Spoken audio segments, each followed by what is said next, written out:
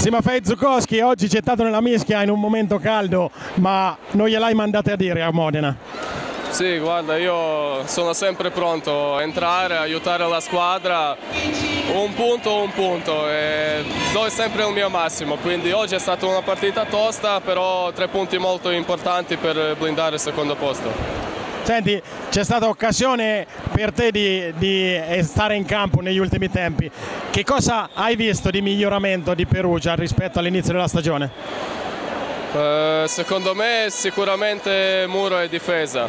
Qui stiamo lavorando tantissimo, la nostra, però la nostra forza è sempre stata la battuta e un bel gruppo in campo.